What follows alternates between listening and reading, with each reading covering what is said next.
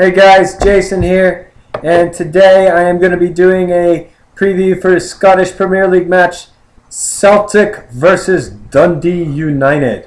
Alright, so Celtic look to be clear favorites in this match.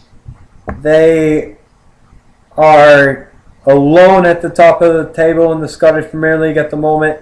Doesn't look like anyone is going to touch them right now they're 17 points ahead of the next closest team, Inverness.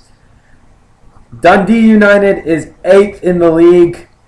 It honestly, I can't say I can see anything else happening other than Celtic winning this match. I am going to go with 3-0 Celtic as my prediction. That is my prediction for the match. I hope everybody that watches this tomorrow enjoys it. All right, 3 zeros my prediction, and I'll see you next time. Bye.